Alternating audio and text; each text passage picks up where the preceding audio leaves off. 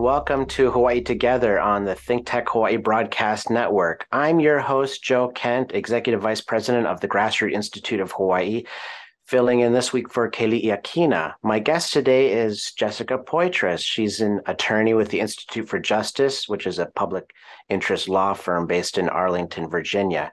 Jessica recently co authored an op ed in the Honolulu Star Advertiser that put a spotlight on Hawaii's occupational licensing laws. And Jessica believes these laws need to be changed, especially as they apply to natural hair braiders and barbers. And she's here to explain why. So thanks so much for talking with me today, Jessica. Of course. Thank you so much for having me. Happy to be here. But first, a little bit about your background uh, and where you work. So, how did you come to work at the Institute for Justice, and what does the organization do? Of course. So, the Institute for Justice is a national public interest law firm that works to end government abuses and overreach. Um, so after I graduated from law school, I knew that I wanted to work in um, the nonprofit sector. I wanted to help people using my my law degree, um, and I've always had a passion for the beauty industry um, as a consumer and someone who um, holds um, you know cosmetologists and and barbers and the entire industry in, in high regard. So when I had this opportunity to be able to work with the Institute for justice to break down barriers for these entrepreneurs. I, I jumped at the chance and I've been here ever since. That's wonderful um, to hear someone passionate about that work. Uh, it's a really important work, and but many of our listeners might not be familiar exactly with what is occupational licensing. So, could you explain what that is? Sure. So, occupational licensing is the fancy term for a government permission slip to allow people to work. Um, so, most professions require um, a government paper or some sort of sign off to be able to work. So um, think of lawyers, the um, your bar license um, for cosmetologists, a cosmetology license, um, thing, things of that nature. So, what kind of occupations does the state of Hawaii require a license for?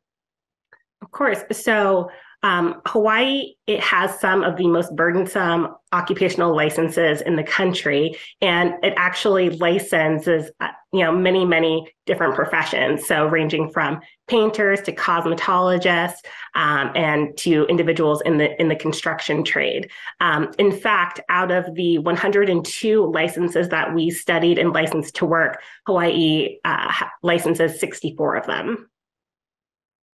Wow, so that's uh, among the highest. It's it's among the highest in the nation. Is that right? And one of the most burdensome. Is that right? Exactly. So Louisiana licenses the most occupations out of all of the states, but Hawaii's licenses still rank as the most burdensome in the country. Um, and that's mainly because occupational licenses require um, other things that you don't necessarily see. So the fees and the exams and things like that are the high barriers um, that that individuals who want to work have to overcome first before they're even able to to first um, start working in in their desired profession. Oh, I see. So Hawaii's um, uh, occupational licensing requirements um, just have a lot of requirements in them. You have to work for longer than any other state and pay more fees than the other state, and so on. So, That's well, exactly now what right. was the what was the justification behind that, though? Why would they pass laws like that?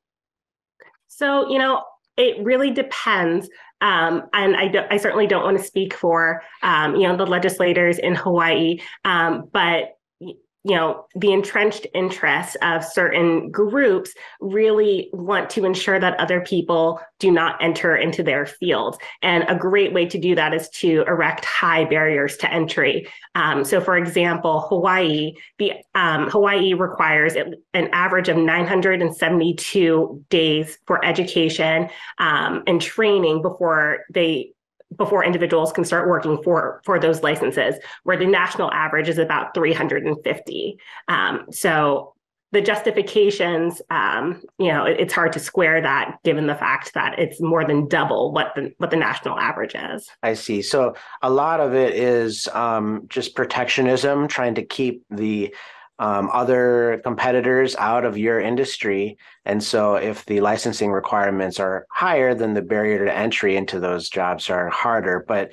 But what about the um, supposed justification? I mean, um, they have to, they're not passing laws or justifying this on those grounds, right? So what are they saying they want the laws for? Well, it, it really depends. And again, with the the wide breadth of of occupations, it's hard to kind of generally figure um, or to generalize exactly what um, legislators deem um, licenses necessary for. Um, but for some of the, the licenses, health and sanitation concerns, um, or um, being able to, um, you know, regulate the amount of individuals in the space, that that sort of thing. I see. So when it comes to, let's take safety, for example. I mean, that's um, when you just think of is we need licenses to keep people safe. We need occupational licenses so that um, my painter doesn't fall off the ladder or, or damage my property or something. So, um, assuming that's the justification, are licenses successful in that?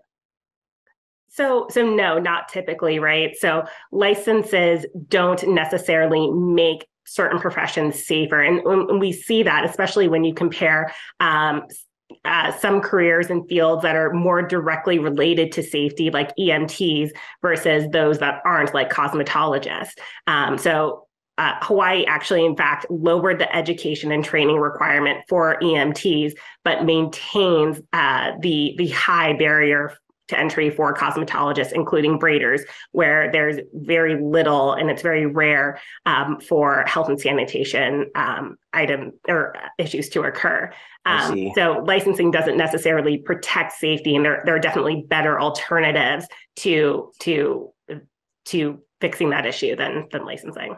I see, and and so licensing may not help, but does it hurt? Uh, have you ever come across any research that shows that um, occupational licensing actually gets in the way of health and safety and some of the goals that they want? So you know, by keeping uh, by keeping skilled professionals out um, and requiring licenses sometimes for things that aren't directly directly attrib- attributed to those professions, um, that could certainly harm or, or, create a cause for for harm for um, licensing. So think of um, a profession like eyelash technicians, right? Eyelash technicians have private certification that that proves their their training, um, and and they should have that training in order to safely provide their services. However, you know, currently in Hawaii, there's no requirement. There's no requirement, or there's nothing um, that says that you need specific eyelash training. What you need is some sort of cosmetology license where they don't even teach eyelash training. Um, so aesthetics professionals can go and and buy those products and you know become eyelash techs without that specialized training, um, and that could you know create some sort of um, mm-hmm. potential health and sanitation risk. I see. Well, um, and a lot of it just doesn't make sense. I mean, you you uh, recently co-authored a column in the Honolulu Star Advertiser, and in it you argued that the state should quote repeal all barbering and cosmetology licensing. Um, now, could you explain that? Sure. So um, Hawaii's state auditor has studied the beauty industry five times since 1980. And each time the licenses, they found the licenses for cosmetologists and barbers are unnecessary. Um, and so, you know, I think that is a very clear example of the fact that, you know, the, the state auditor has found that these licenses aren't required, they aren't necessary, but legislators haven't moved and, and, taken that recommendation to to try to reform the system to allow individuals to be able to work. I see. And and what would repealing um, those licenses do? How how would that help? Of course. So by repealing those licenses, especially for niche beauty uh, service providers, that would allow people to enter into the field without having to undergo state mandated training requirements.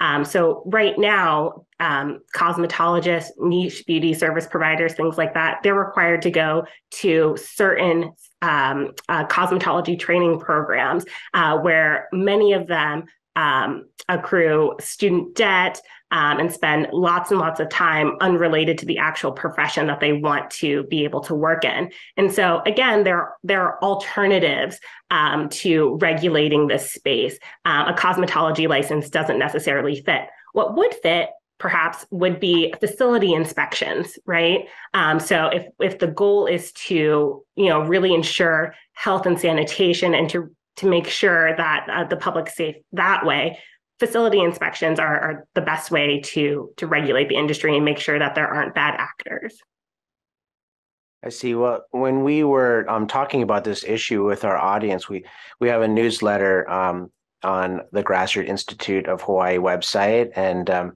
thousands of people read our stuff. And we were pointing to your article and talking about this, and we got a lot of comments. One person wrote, "I have a friend that this restriction harms." She said, "Why do our legislators spend more time trying to suppress local small business than support it.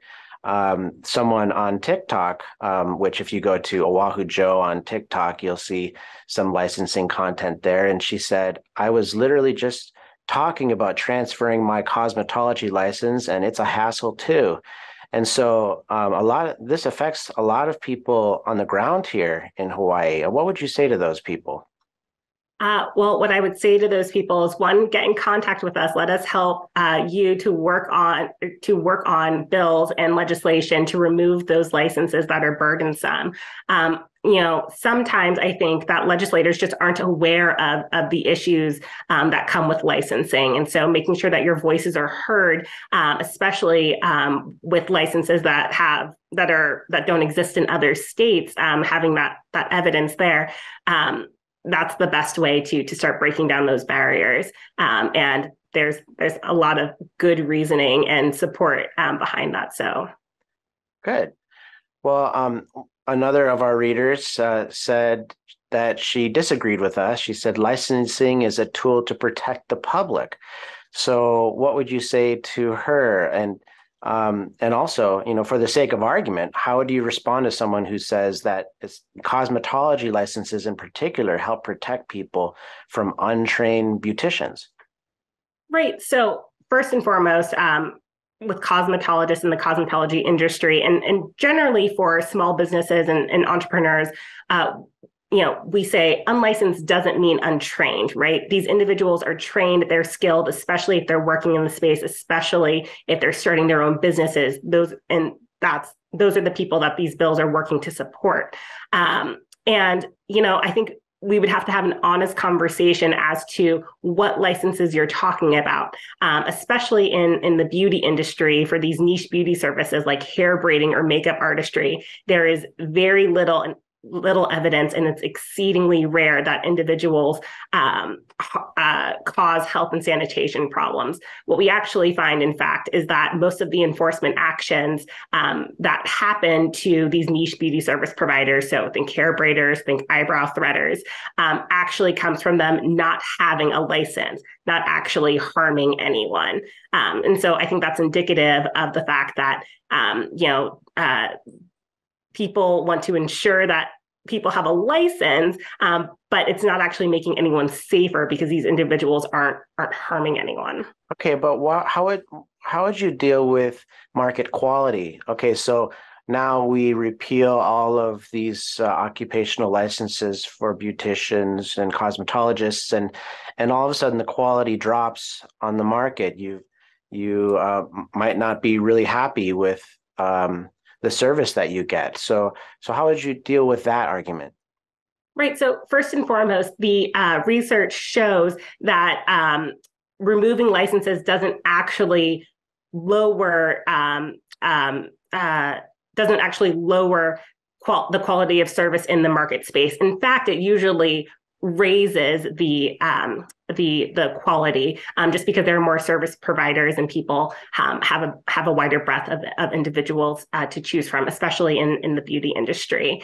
Um, and so, you know, I I think it really comes down to exactly um, you know what you know what skill are you looking for what are you trying to get at um, and and also the the market doesn't necessarily uh, the way that individuals choose providers doesn't necessarily change whether or not there's a license there um, there's a license that exists. Um, even now for regulated licensed occupations individuals choose to find their uh, their providers through word of mouth, reputation, online um, reviews like Yelp and Google. That's where the market, that's where consumers go to look for qualified individuals. Very few people are, are checking to see if their painters have have a license. That's true. Um, we look to Yelp, not the government, a lot of times when we're trying to find the best place for service. But um, I want to talk about your um, new report at the Institute for Justice, License to Work. And this is version three of this. We've been following this uh, for many years. Uh, it's been really helpful. But this third version looks at reforms also that states have been putting in. Um, some states have been increasing licensing requirements, other states have been getting rid of them. But uh, on net, are we going for more licensing or less, fewer? Of course. So, um, as you mentioned, this is our third edition of License to Work, um, and it's an updated snapshot of licensing licensing's extent and burden by cataloging state licensing requirements for, again, 102 uh, lower income occupations across all 50 states. And this edition also includes uh, Puerto Rico and a compare states feature. So if you're interested, you can go to the website and compare Hawaii versus any of the 50 states in, in Puerto Rico, which is really um, really interesting. But to answer your your second question, you know, on the whole, we've seen about a 20% decrease in licensing across the across the country overall, um, and I think that's because you know meant um, both political administrations, so um, the Obama administration, the Trump administration, and the, the, and the Biden administration has called for um, states to really take a look at, at occupational licensing and has really highlighted it as a barrier for workers across the country. So, uh, for the most part, we've seen um, a decrease, but that doesn't mean that there isn't work to do because there certainly is. I see. Would you say that this issue cuts across partisan lines, or um, is it is it a partisan? It's kind of a local issue, wouldn't you say? Yeah, it's a, it's a state by state issue, and it really shouldn't be partisan. Um, and we find that it, it you know it, it often isn't um, because there there are uh, interests for for for everyone, right? Um, I think all states, and including Hawaii, are interested in bringing people to their state, making their state open to work, um, creating opportunities for current citizens, and that's what occupational licensing does. Um, I, I, always like to add um, and specifically highlight some of the states that have um, enacted great uh, cosmetology licensing reforms, um, like Minnesota in 2020 when they removed the uh, requirement for makeup artists and hairstylists um, to have a full cosmetology license. There was literally a thousand new um, in, individuals who were who were able to register with the with the state to be able to start working in that space. Um, also in Arkansas, when it passed its shampooer and blow dry bar extension uh, uh, uh, exemption, uh, my apologies, bill, um, the first blow dry bar in the state opened up. Um, so that is concrete proof that when you remove these barriers, individuals see the opportunity, they come and they want to build and, and they want to work. So um, hmm.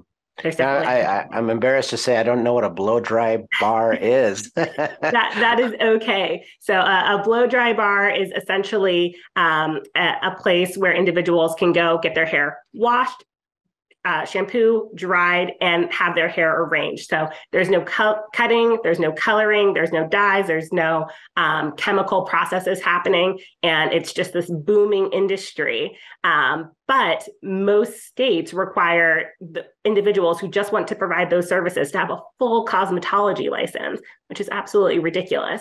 Um, and so by removing that barrier, it allows you know these businesses to open up. Um, it supports industries like you know the wedding industry that whole, wholeheartedly relies on um, independent makeup artists and hairstylists as well as the entertainment industry. So it's really you know a win-win for everyone. I'm going back to that hawaii auditor study you mentioned about um, one study earlier this year recommended against uh, mandating license for community health workers.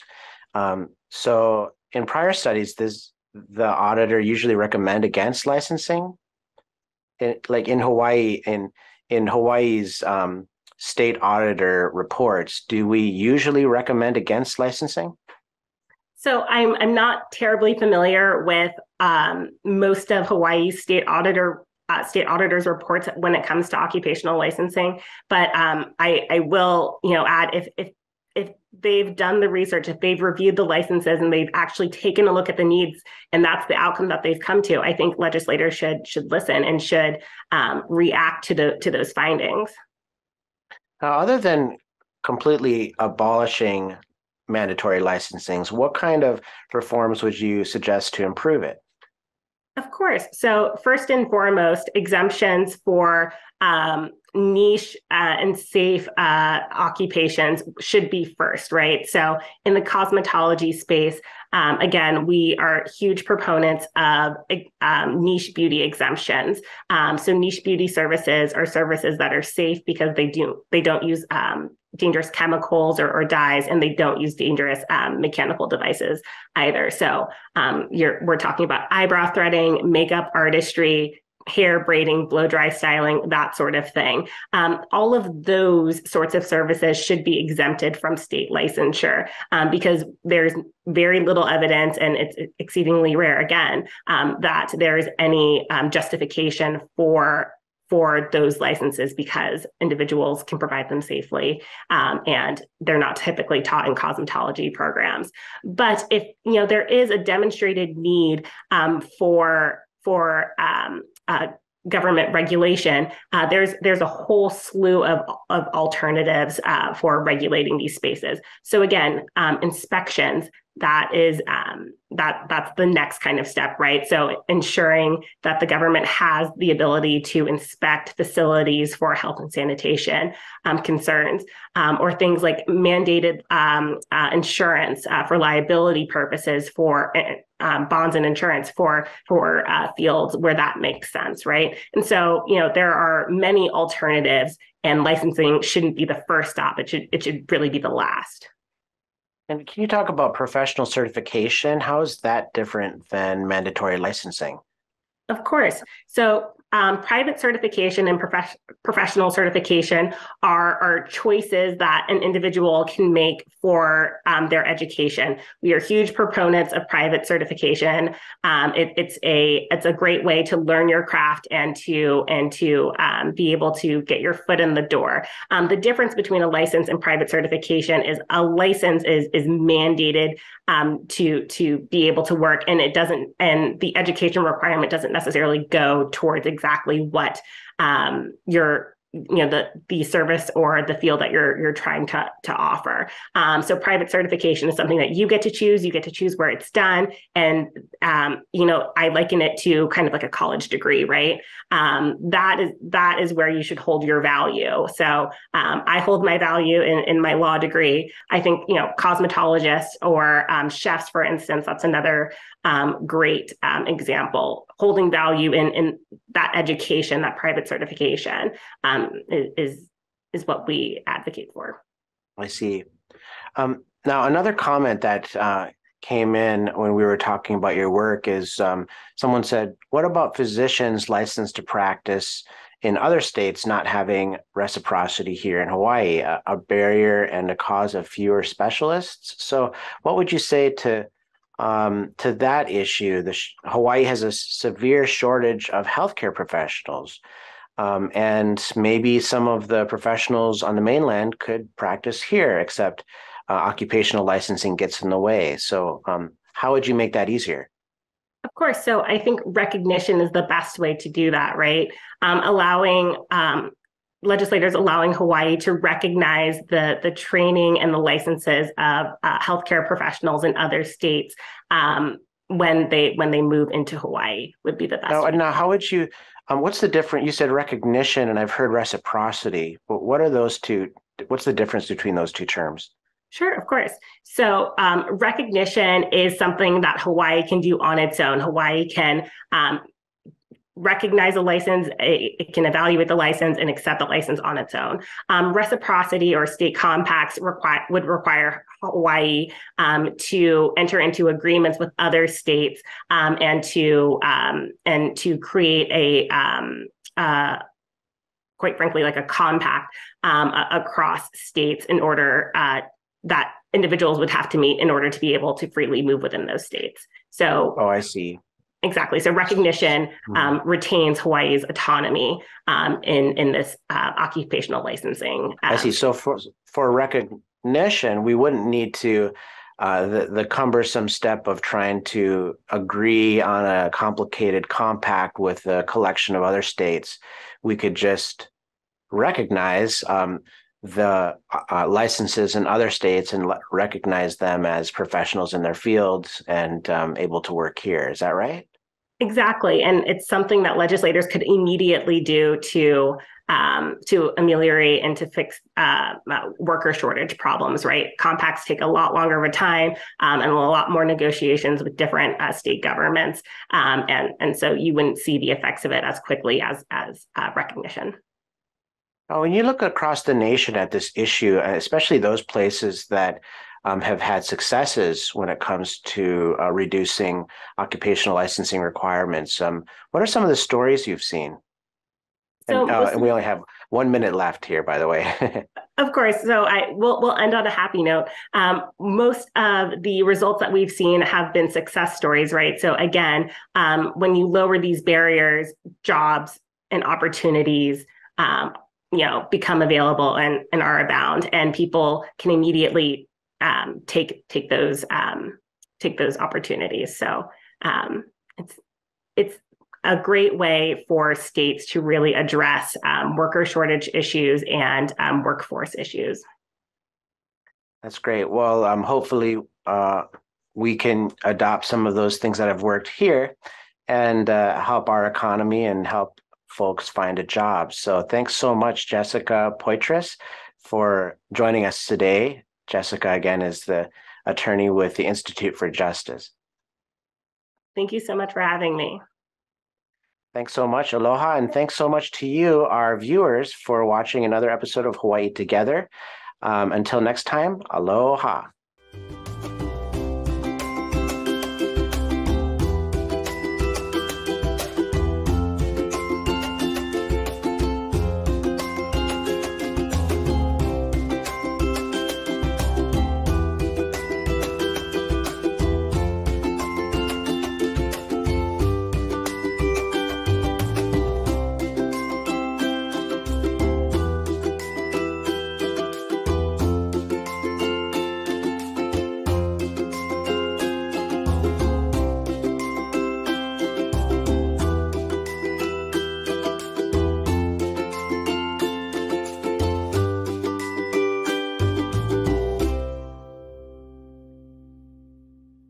Thank you so much for watching Think Tech Hawaii. If you like what we do, please like us and click the subscribe button on YouTube and the follow button on Vimeo.